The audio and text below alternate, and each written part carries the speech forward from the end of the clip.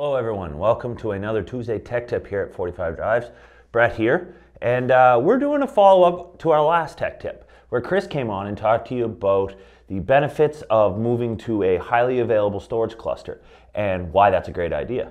And Chris did such a great job in that video that he uh, convinced you and your bosses and whoever makes the decisions in your organization that they wanted to do this. They want to move to a cluster. They want to move their workflow, whatever they're currently doing, to a highly available network attached Ceph cluster. Um, and now the fun part begins, or the hard part, depending on how you want to look at it. The rubber's going to meet the road. Now you actually have to do it. So, what we're going to talk about in this video is we're going to touch the same topics that Chris did. We're going to hit the same um, kind of big points, but we're just going to have a little more um, detail or, or, or pointed questions of things you should consider. Now, I'm not going to sit here and tell you exactly what to do because everyone's environment is slightly different and everyone's end goal is different. Not everyone's trying to achieve the same thing. Everyone wants high available, high available storage, but there's a lot of different ways to do that. Anyway, I'm going to get into that. So, uh, without further ado, let's talk about moving you to a cluster.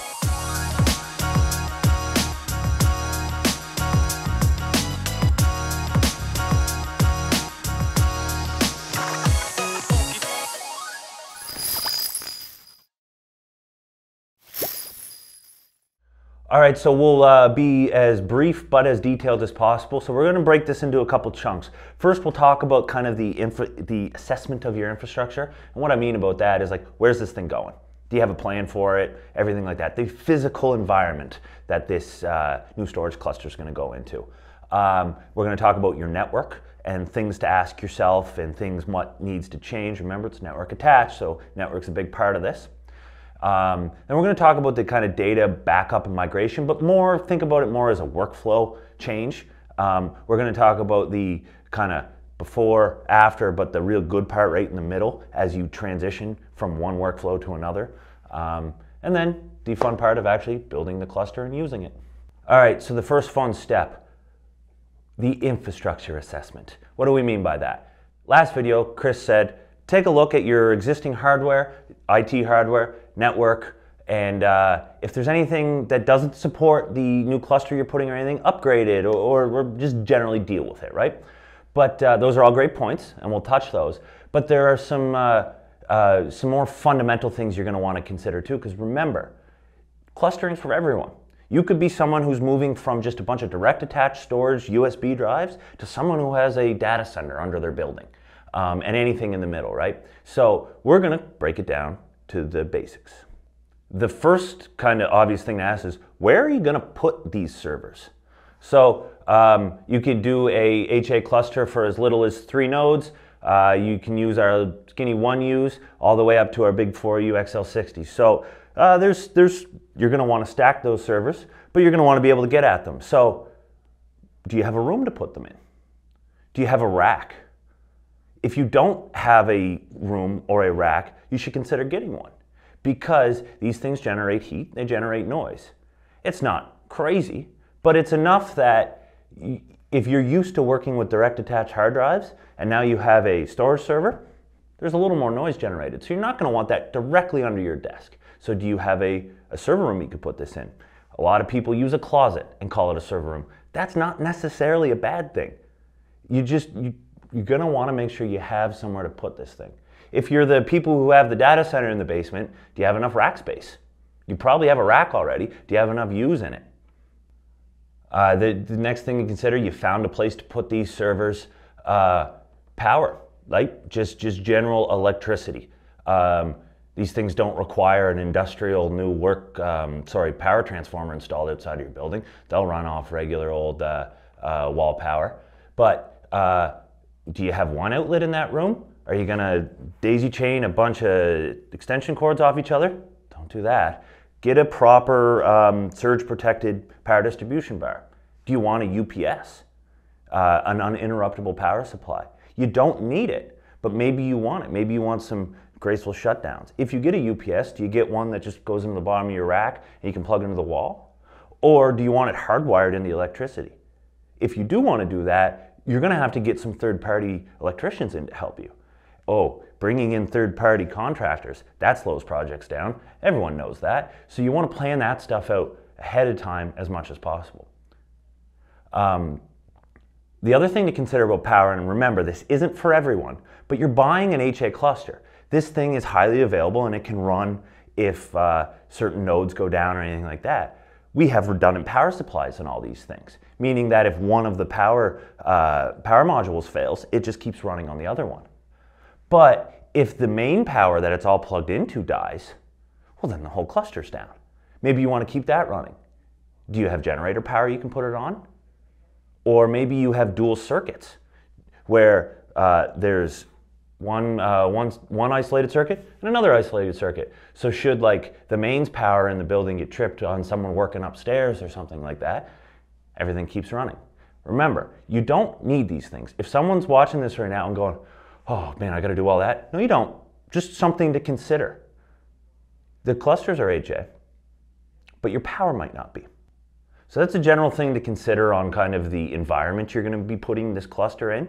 And there, why I bring that one up first is because if there's anything you want to change there, you're probably going to have to bring in some electricians or something else like that. Anytime you have to bring a third party in, it might delay your project. So try to get those ahead of times. Eliminate your latencies, get any unknowns off the table as fast as possible. But now, with the kind of environment uh, infrastructure out of the way, let's talk about uh, the IT infrastructure, the existing hardware you have in place. Um, do you have a network setup? If you're someone who's transitioning to a cluster from direct attached USB drives and, and maybe a, a, small NAS, you might just have a couple wires running from like one server to every one little switch in someone's desk. Great, that's a common setup, works awesome. If you've got enough ports on your network, you might just be able to plug in your cluster and everything just runs that way. Maybe your switch is not fast enough. If you bought a cluster specced out because you want to edit um, video files off this thing and you're like, I need 10 gigabit networking, but your main switch it's attached to is running at a slower speed. And then even downstream at everyone's desk, if there's other switches in the way that are slowing things down, that will um, bottleneck your brand new server cluster that you just bought. So my point here is map out your existing network infrastructure. If you don't have a network infrastructure, great, you get to put one in. We can help you do that actually. We can give you guidance and ideas of the best way to get a cost effective solution to you. Do you have an old archa archaic kind of network situation, kind of like we had here at our own company a bunch of years ago when we upgraded to a cluster where it was kind of a, we just built the network as we went on. And we put a brand new cluster in, it was 10 gig ready, but down at everyone's desks, some of the little uh, switches people's desks were attached to were just 10 megabit switches. So maybe that, and that will suffice for most part of the company. And maybe one only group needs a higher kind of network throughput into them. But the point is, is make a map of your network if you don't have one already. Isolate where there could be bottlenecks and, and upgrade or, or install new um, switching to do that. The other important part, switching, that's fine, but the cabling. Are you running old Cat5 cable and you want to get 10 gigabit through it? Well, you're going to have to get newer uh, uh, 6, 6A, Cat 6A, depending on the runs of your length. So again, you could do this yourself if you wanted to. There's nothing wrong with that. But remember, this is there's a lot of work to that, a lot of things to consider. Maybe you want to bring in a third party again. Remember my last point. Anytime you bring other groups in, it sometimes slows your project down. So have a good think of how your network attached cluster is going to get out to everyone. So the recommendations there, remember, if you have no network, great, plan one out. We can help you do that during the time of sale if you want to do that. If you already have networking and it's already like perfect, you've already kind of have 10 gig networking, you, you planned ahead, great, you don't really have to do much there. You're probably somewhere maybe right in the middle and you have some older stuff, map it out, make a plan. So that's your network gear. The next thing you want to look at is maybe you can reuse some of the hardware you have already. The computer hardware, the servers, remember? Software-defined storage. We have our big 45 drives clusters that you're getting from us, but maybe you've got a, a, a network attached drive that you want to use as a backup device now. Maybe the main server that you had before is like, ooh, okay, we'll replace that with the, with the cluster, but I still have this server and it still works. Can I back things up to it? Absolutely you can. That's what we mean by assess what you currently have, because we don't necessarily need to toss everything. We just might need to rearrange some things. We can help you with that too. So consider, take inventory of everything you have current in your setup and bring that to us when you talk to us because we can make a plan on how to best utilize everything that you currently own, plus your wonderful new 45 drive Ceph cluster. And to put a little color to that last point, uh, in a real life example, that's exactly what we did here at our company. Uh, we were running everything off a, off a single server. Um, we built a wonderful Ceph cluster, and the, the old server was perfectly fine. Actually, it was one of the first of the Backblaze units when we were still doing a lot of work with them. And we are like, well, this thing can still work as a backup. And actually, still functioning with some good maintenance upgrades as we offload a lot of like cold backups to that thing. Because why not? Still functions. So the next thing that you're really going to want to dig into when Chris talked about the data migration and backup of your data, right? How do you get off your current workflow and get to your new workflow? That's kind of the hardest part here. Why? Because it's change. Change is scary. Everyone's scared of change, but change doesn't have to be scary. Not if you put a good plan around it. There's a fun analogy we use here. Uh, how do you change the tires on a moving car? You can't stop the machine. The business needs to keep running. You can't pull over, do a bunch of downtime maintenance, and then bring it all back up. You could, but that kind of sucks. You want to change the tires on a moving car. So what do you do? Well, you shuffle everyone to one side, you change to one tire. No, no, jokes aside. Um, my point is, how do you keep using your current workflow as you do the work to move to your new one? For a real life example here, remember I said we went off our single server to our cluster. Well, we ran our single server, we built the cluster alongside of it, but we did not decommission that, that first server until everything was switched over the other thing.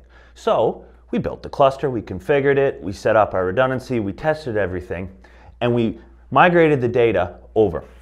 We used rsync, we did all that great stuff, and we did a couple trial runs with people. We said, okay, can you connect, everything like that. But the main server was still active. It was still doing the everyday work because there's always a couple glitches. There's some things that you want to change, or maybe you, uh, no, we want to try to do it this way. You know, like some little hot fixes that happen. Um, and then when okay everything's working you do that final little data sync over everything on the on the new cluster is exactly the same as the old cluster you you switch the IPs over and then all of a sudden everyone starts hitting the new cluster rather than hitting the old cluster we changed the tires on a moving car the business did not stop. We didn't have to tell everyone from this hour to this hour, uh, you can't do any work. We didn't have to really have anyone come in overnight and do, do the midnight work to switch all this over. We did it while we were running. We did it live. And that's what we want to help you guys too. And that's part of this process. You as the end user of this cluster, know your work environment better than anyone else. You know your business. That's why we're all in this game because we're giving you infrastructure to keep you up and running so you can keep doing the things you want to do. So, based on what your goals are, we can help you achieve a kind of scenario of where you can take the tires off your moving car and not impact your business. So, those are some uh, kind of deeper thoughts to put into your plan. Again, not a step by step recipe. It's going to be different for every person, remember. But a couple deeper things to think about as you uh, plan your transition from your single server or your external hard drives to your new storage cluster. Assess your infrastructure. Where are you going to put the thing? Do you get the power? All that, that, that almost boring stuff that you don't think about till it's time to do it. Um, your network architecture. What can you change? What can you keep? What of your current setup can you keep? Um, your workflow changes. What are you able to stop the stop and do a migration time? Do you have to keep the uh, the car running at all times? All those things to consider. If I said anything in this video that almost scared you a little bit, as in like, oh geez, I got to bring electricians in. What kind of power? Uh, uh, no, not necessarily. My point is, just consider it. The best part of making a project go smoothly is identify all the things that could go wrong, the project killers, as early as possible. All the things that can delay a project longer than you want it to be, identify those as soon as possible, make a plan around them, decide what's right for you, and then you can take something that is relatively scary, change, and not make it that bad. And remember, 45 Drives is here to help you do this. We want to take you from what you're doing now and give you that peace of mind of a highly available cluster so you can just stop worrying about is your data available. So give us a call, tell us what your plan is, and we'll help you achieve your dreams together.